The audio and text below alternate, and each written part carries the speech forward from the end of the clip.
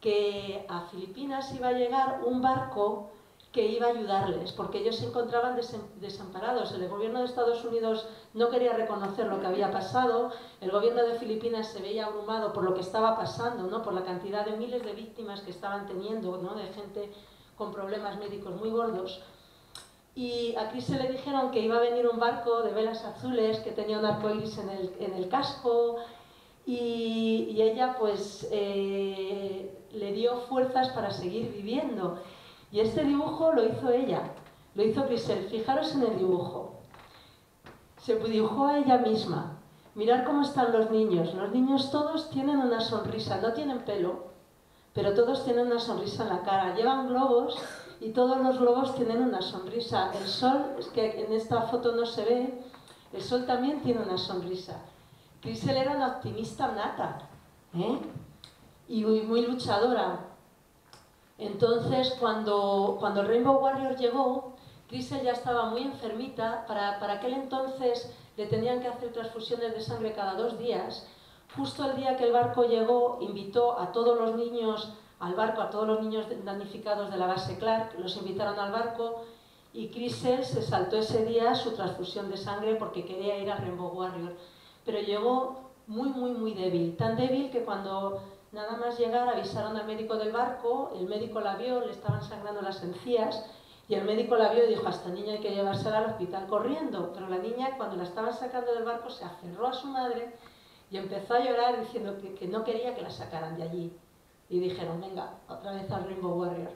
Así que se le dio, eh, se habían preparado actividades para los niños. Aquí vemos a Crisel al volante de, uno de los botes, de, de con con el capitán, con Peter Wilcox, y cuando después de dar esta vuelta en, el bote, pues eh, Crisel subió a bordo, estaba muy muy muy débil, la llevaron al camarote hospital del barco y allí Crisel cerró los ojos y nunca más los volvió a abrir. Y claro, imaginaros la situación, ¿no? Todos, todo el mundo en el barco estaba desolado, la tripulación estaba desolada. Y lo curioso es que la madre de Crisel era la que animaba a todo el mundo, a todos los voluntarios y a toda la tripulación. ¿Por qué? Porque les decía, le daba las gracias y les decía que gracias a ella, a ellos, su hija había sido feliz los últimos momentos de su vida. Porque cuántos niños hay en el mundo que tienen una infancia terrible y ni siquiera tienen eh, esa suerte de morirse felices. ¿no? Porque Crisel murió con una sonrisa en los labios. ¿eh? Y Crisel es también un símbolo de toda la humanidad, porque todos nosotros, da igual si estamos en el hemisferio norte o en el hemisferio sur, si somos ricos o somos pobres, todos nosotros tenemos en nuestros cuerpos sustancias químicas altamente peligrosas, en mayor o menor medida. Y conforme van pasando las generaciones, la cosa va peor porque algunas de estas sustancias son bioacumulativas.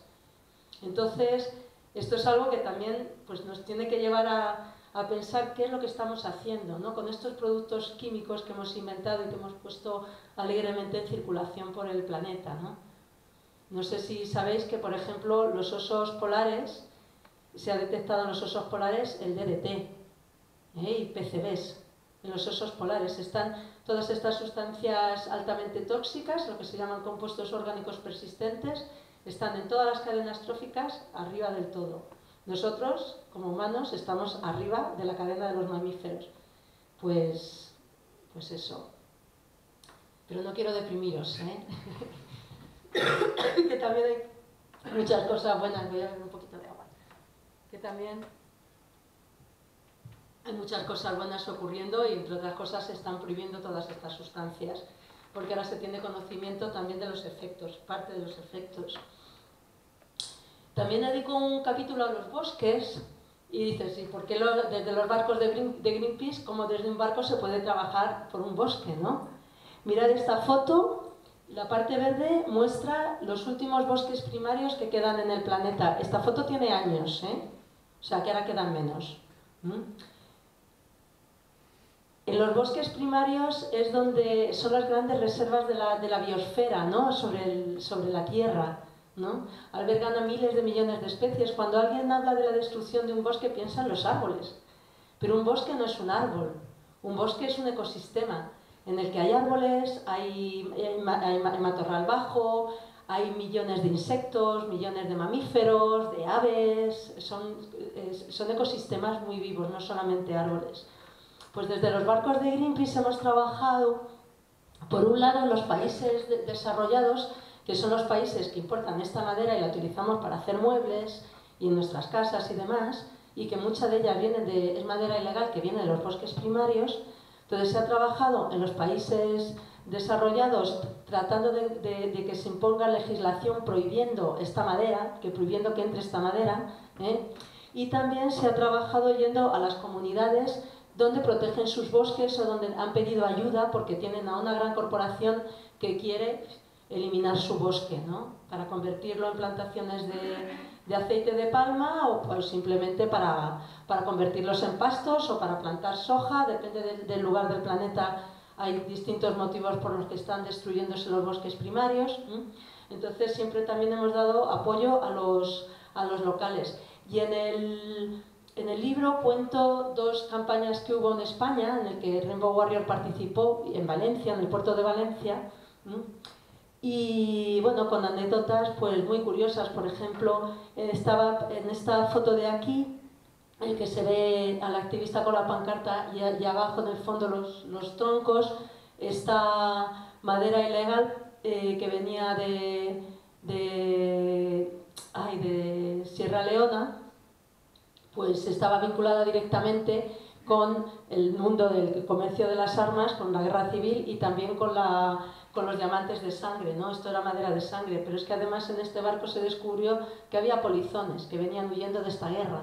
O sea que también está el lado humano, no solamente los bosques, sino también todo lo que crea, eh, todo lo que se crea alrededor de un recurso rico en los países pobres, ¿no? Las guerras, el tráfico de, personas eh, y el tráfico de materias, de materias primas. Em, hay un capítulo que dedico a, lo inesperado, ¿no? Había en, los camarotes del Rainbow Warrior había uno de que normalmente estábamos las chicas, que había un cartel en la puerta que ponía esperar lo inesperado, ¿no?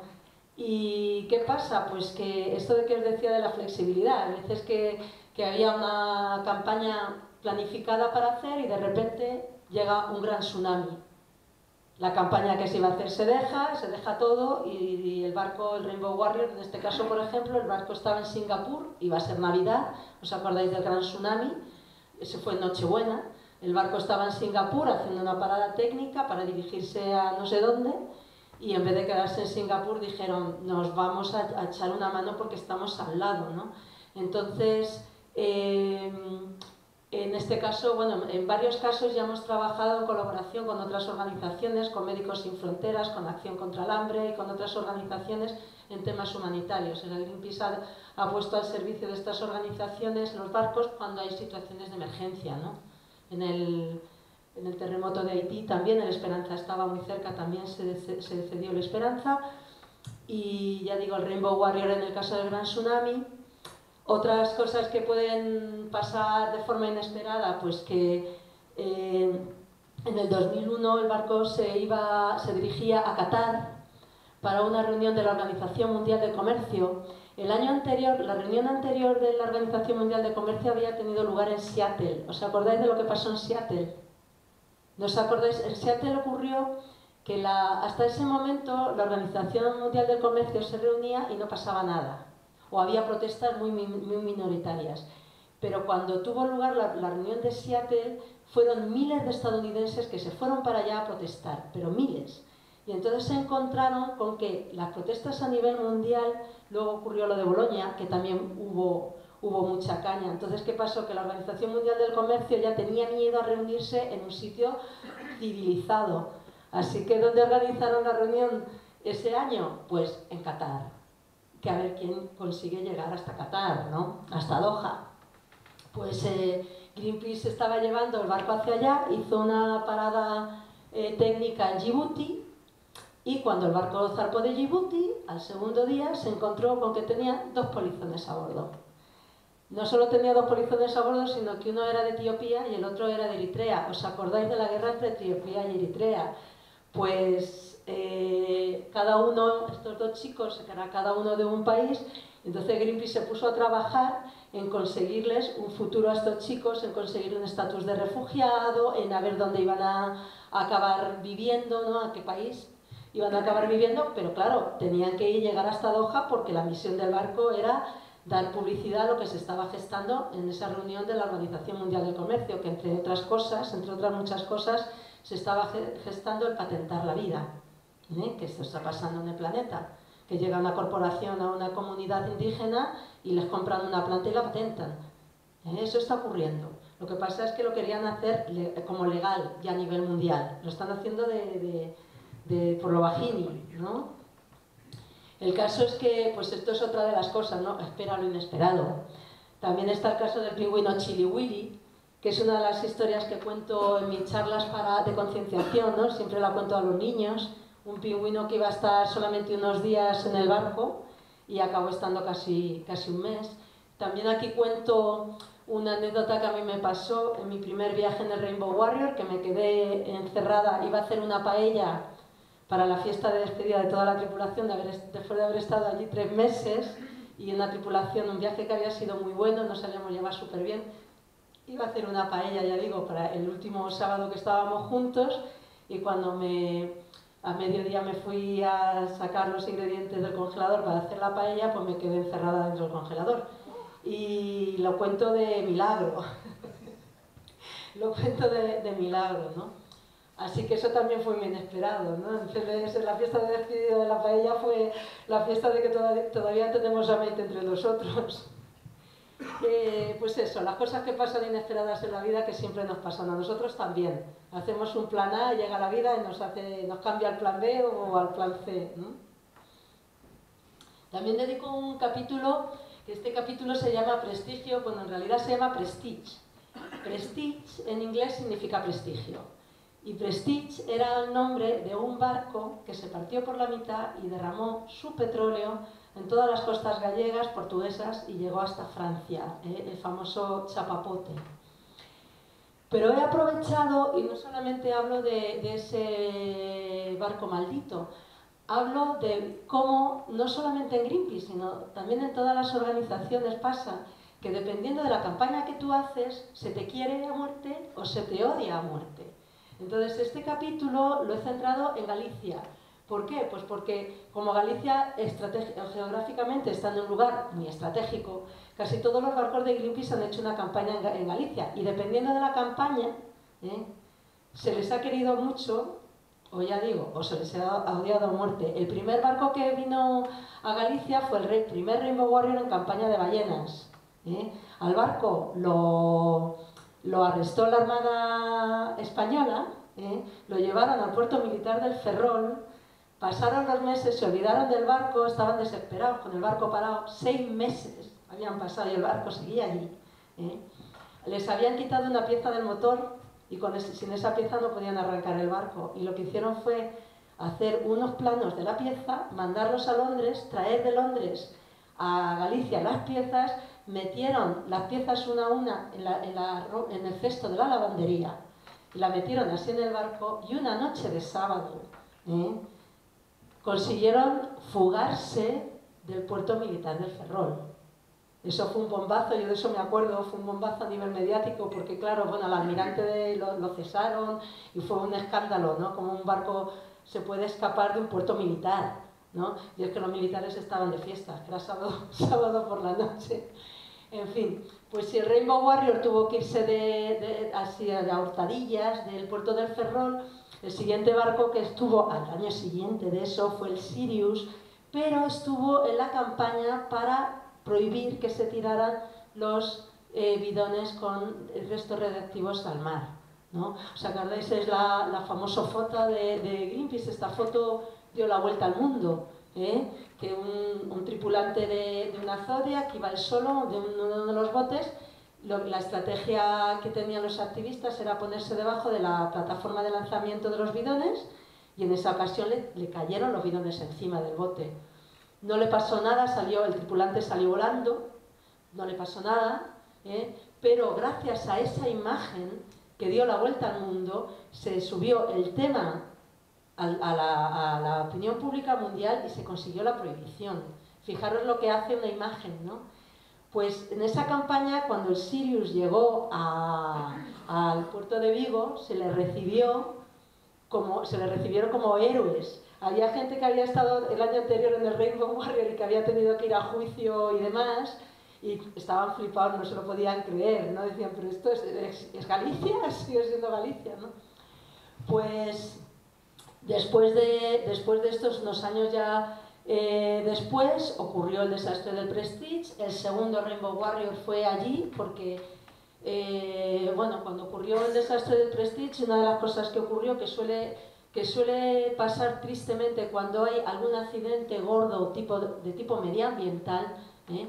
y es que el gobierno en el poder se hace con la, información, se hace con el control de los medios y solamente sale la información que ellos quieren.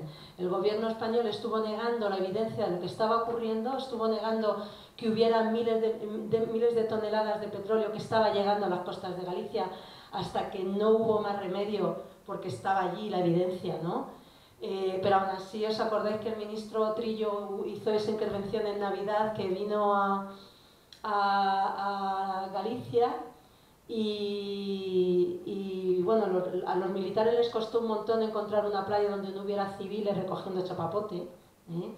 Cuando ya encontraron esa playa, y que estuviera limpia, cuando ya encontraron esa playa, salió el ministro Trillo diciendo que, que las playas de Galicia estaban impolutas. Y en la playa de al lado y en la de al lado y en la de al seguía llegando el chapapote a toneladas. ¿no? Pues el Rainbow Warrior estuvo allí eh, para también eh, contradecir una cosa que estaba diciendo el gobierno, que era que la contaminación solamente estaba llegando por la superficie. Se, hizo, se hicieron unos análisis de, de los fondos marinos alrededor de las Islas Cíes, Parque Nacional, por cierto, y se descubrió que el chapapote estaba impregnando todo el fondo marino también. ¿no? Pues de nuevo al Rainbow Warrior se le, se le recibió como, como, si fueran héroes, ¿no? Se le dio la bienvenida, una flotilla de bienvenida, etc. Pues eso ocurrió con el Rainbow Warrior en el 2003, al año siguiente, y ahí sí que estaba yo, a bordo del Esperanza, a bordo del Esperanza estuvimos en el Atlántico Norte haciendo una campaña para pedir a Naciones Unidas una moratoria sobre la pesca de arrastre de profundidad. Yo no sé si sabéis que las montañas, eh, perdón, que los océanos son los que tienen las montañas más altas del planeta. Y hay una cordillera, la cordillera más larga del planeta está en el Atlántico, cruza todo el Atlántico. Y ahí esa cordillera, esos montes marinos, es donde van los, los pescadores de arrastre a pescar. ¿Y cómo se pesca? ¿Cómo es este método de pesca? Las, las, redes de arrastre llevan en el fondo, en la parte baja de la red, llevan unas ruedas de hierro muy muy pesadas y conforme van pasando, por el, van barriendo el fondo marino, estas ruedas van deshaciendo, machacando literalmente todo. El coral, todo, todo, las plantas se lo llevan todo por delante para que no se rompa la red. ¿eh? Entonces se está arrasando los montes marinos sin, sin nosotros conocer lo que hay allí. Se conoce más de la luna que de lo que hay dentro de los océanos. Pero se está destruyendo, se está acabando con esa vida, se están acabando con especies que ni conocemos. Entonces, en Greenpeace pedíamos la moratoria internacional, pero ¿qué pasó? Que la mayoría de los barcos que nos encontramos, ¿de dónde venían? De Vigo. Entonces, en la prensa gallega empezaron a decir que si Greenpeace está en contra de Galicia, que si lo que quiere es arruinar a los pescadores gallegos, etcétera, etcétera. Así que cuando acabamos la campaña dijimos, vamos a Vigo, y vamos a explicar nuestra campaña. Nosotros no tenemos nada en contra de los pescadores en sí, sí con este arte de pesca y lo que queremos es una moratoria mundial, no es que vayamos contra los gallegos, es que en Nueva Zelanda también estábamos trabajando en esa campaña, por ejemplo, ¿no?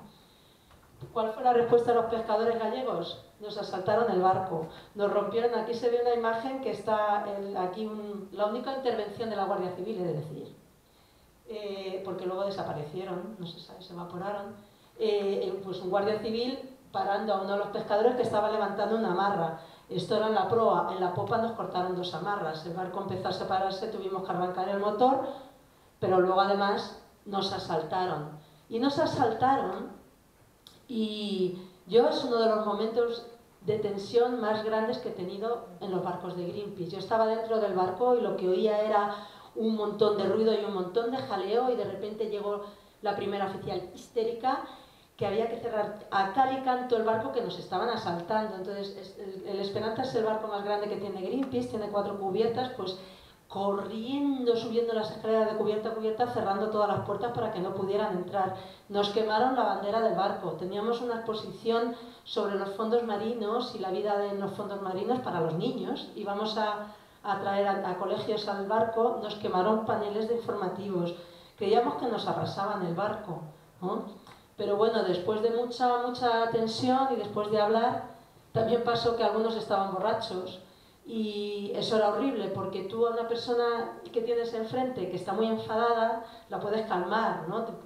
Y puedes, puedes eso, calmarla y decir, venga, vamos a hablar. Tú, cuéntame qué es lo que a ti te preocupa, yo te cuento mi parte, ¿no? Pero a un borracho no. Un borracho, al contrario, se encrespa cada vez más. Pero bueno, la sangre no llegó al río. ¿eh? Después de, no sé, como tres cuartos de hora una hora de mucha tensión, conseguimos calmarlos y conseguimos bueno, que, se, que se fueran y entonces llegó la Guardia Civil cuando ya se habían ido.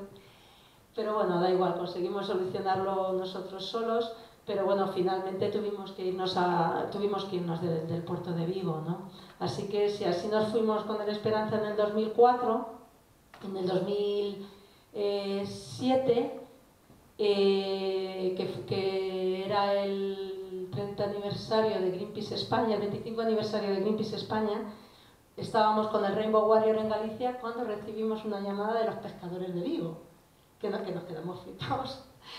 Y en este caso eran los pescadores artesanales, los pescadores pequeños, no lo de los grandes arrastreros, pero nos pidieron que por favor fuéramos a Vigo a ayudarles, porque eh, tenían un problema y con el Rainbow Warrior se les podía solucionar, ¿no? Así que fuimos al, al puerto de Vigo, otra vez entramos en la ría de Vigo y otra vez estábamos en paces con los marineros. Por eso digo que, para que veáis ¿no? cómo cambia la situación dependiendo de, de la campaña que, en la que estemos trabajando, siendo la misma organización.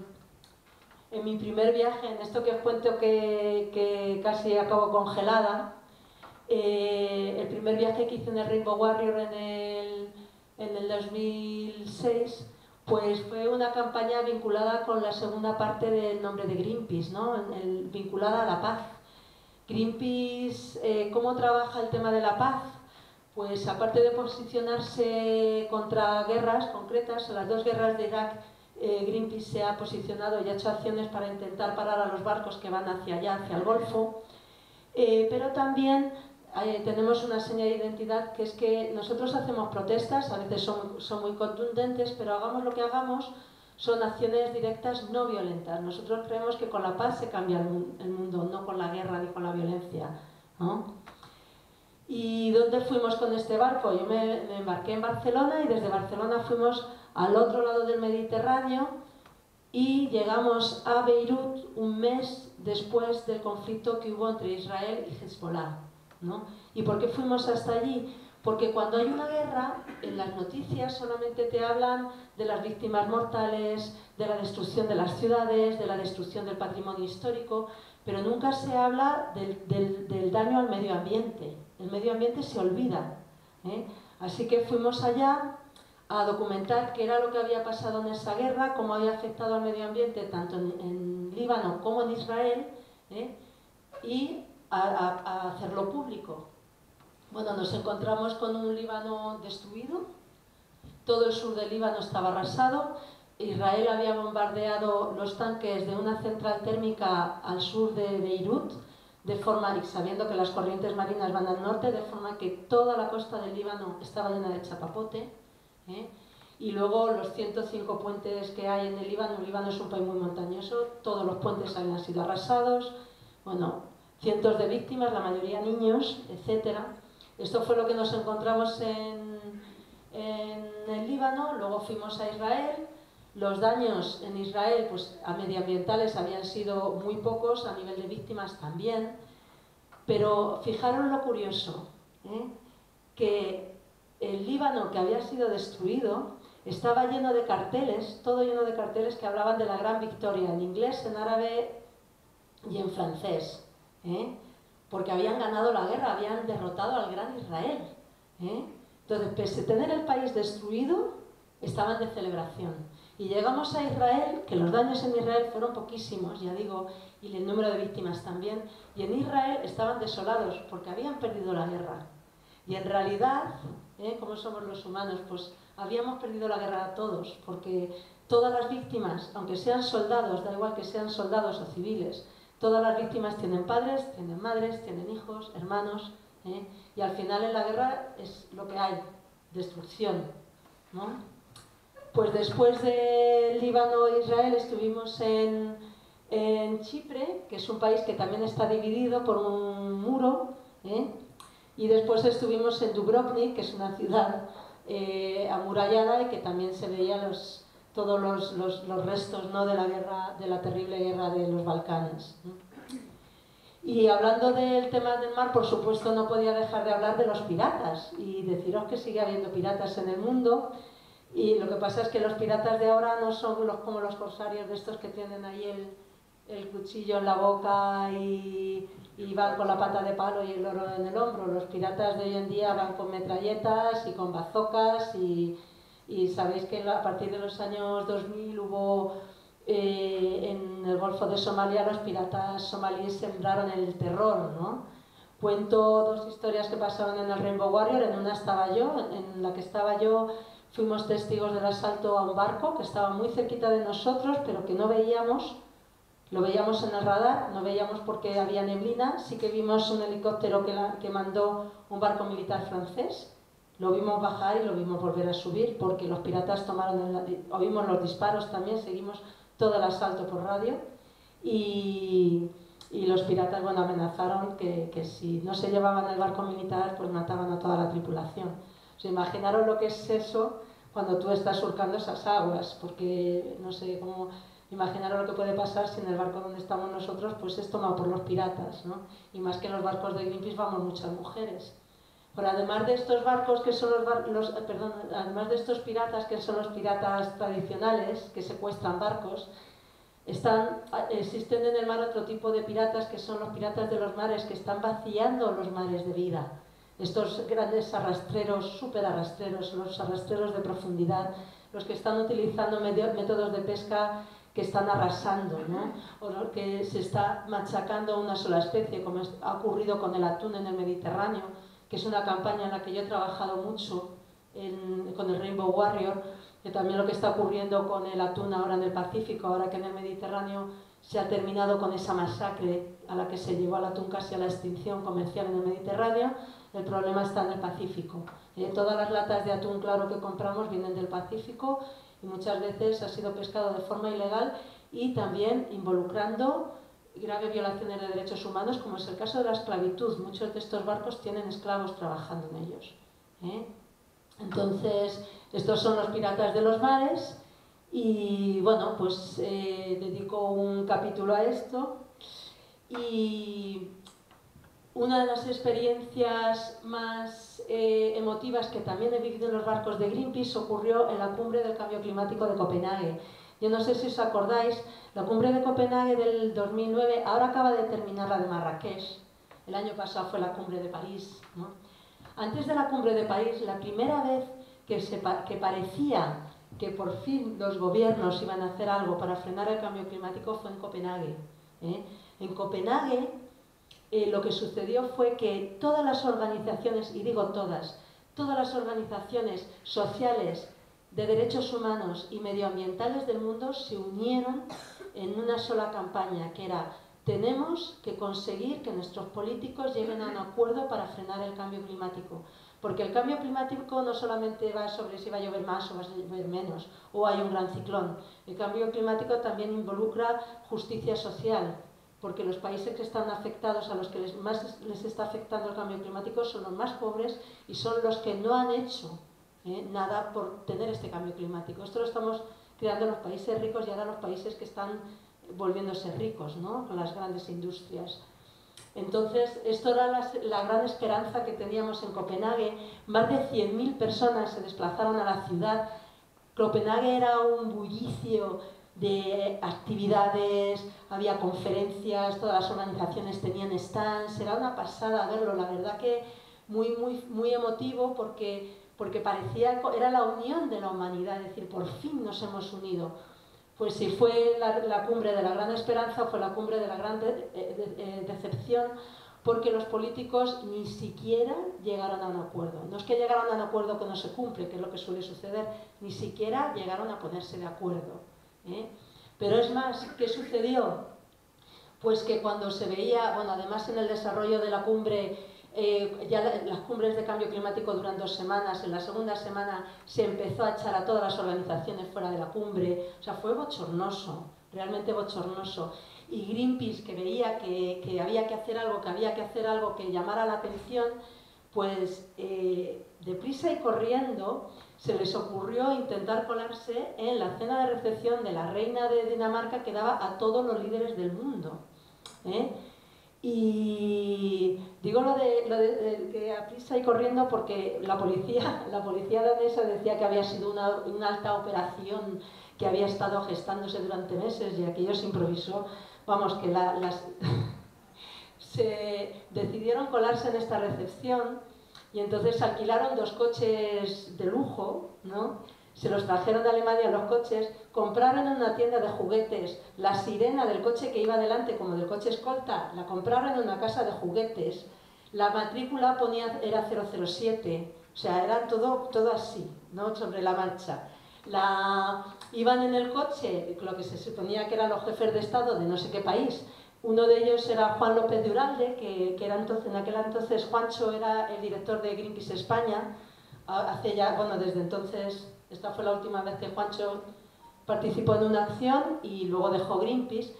La pareja era Nora, Nora eh, le dejaron, eh, alquiló un traje de estos de, gala, pero como no tenía zapatos de tacón, se fue con unas zapatillas de estar por dentro de casa con un poco de tacón. O sea, es que era de chiste, ¿no? Ellos jamás pensaban que iban a conseguir llegar hasta dentro del palacio. Pero ¿qué pasó? Que les abrieron la puerta y adelante, adelante, pasaron por la alfombra roja, le iban abriendo las puertas por aquí, por allá, y ellos flipados diciendo, pero ¿dónde nos llevan? ¿Dónde nos llevan? y, subiendo y bajando escaleras hasta que de repente ya se abrió una puerta y vieron a todos los medios de comunicación y dijeron, aquí, ¿no? Y abrieron las pancartas, los detuvieron y la cumbre de Copenhague terminó y a las tres personas que, que estuvieron en, en, esa acción, el que suponía que era el guardaespaldas y la pareja eh, representando a la población mundial, a esa, a esa población que, a la que habían echado de la cumbre, ¿no? que nos representaban a todos, y a una cuarta persona, que era el responsable de la campaña de cambio climático de Holanda, que no se sabe por qué, lo detuvieron en una cafetería y se lo llevaron a prisión, pues estas cuatro personas, cuando terminó la cumbre, ahí se quedaron en la cárcel. Entonces el Rainbow Warrior iba a irse de Copenhague, pero dijimos, ¿dónde vamos? ¿Cómo iba a ser Navidad? ¿cómo nos vamos a ir y vamos a dejar aquí a nuestra gente? Así que pasamos allí toda la Navidad hasta que conseguimos que los soltaran 21 días, pasaron en la cárcel. Los jefes de gobierno de todo el mundo volvieron a sus casas, ¿eh? poniendo en riesgo la vida y la supervivencia de todos los seres humanos, de rositas y personas que estaban denunciando que por favor hicieran algo, pues se pasaron 21 días en la cárcel. Y para que veáis cómo está el tema del activismo hoy en día, claro, estamos llegando a un momento un poco crítico, ¿no? Cada vez quedan menos recursos, cada vez la, gente que controla estos recursos están creciendo, creciendo, creciendo y la riqueza se está acaparando cada vez, cada vez menos gente. Ahora mismo están las grandes corporaciones dominando la economía del mundo. Cuando Rusia anunció que iba a empezar a, hacer, a sacar petróleo del Ártico, el Ártico sabéis que se está deshaciendo el hielo, con lo cual eh, un, lugar como la Antártida, que había sido hasta ahora pristino, pues está eh, bajo la amenaza de la extracción de petróleo, con el riesgo que supone que haya un derrame de petróleo en un ecosistema súper sensible. Están también que quieren abrir vías de navegación, las grandes compañías de pesca, todas estas compañías que están arrasando todos los océanos ahora están mirando al Ártico porque se ha convertido como una gran reserva marina, protegida por el hielo, pero ahora el hielo está desapareciendo. ¿no?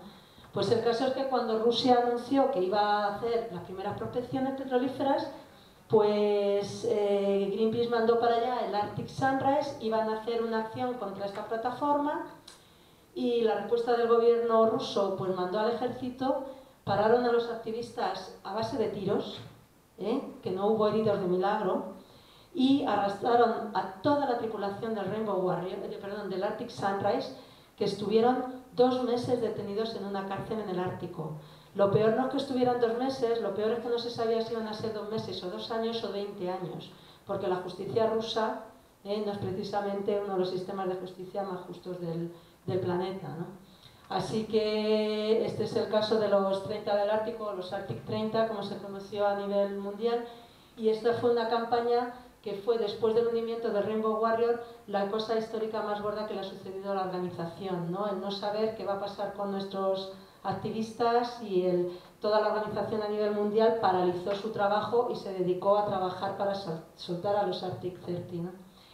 Y bueno, lo mismo que el segundo Rainbow Warrior empezó su singladura marinera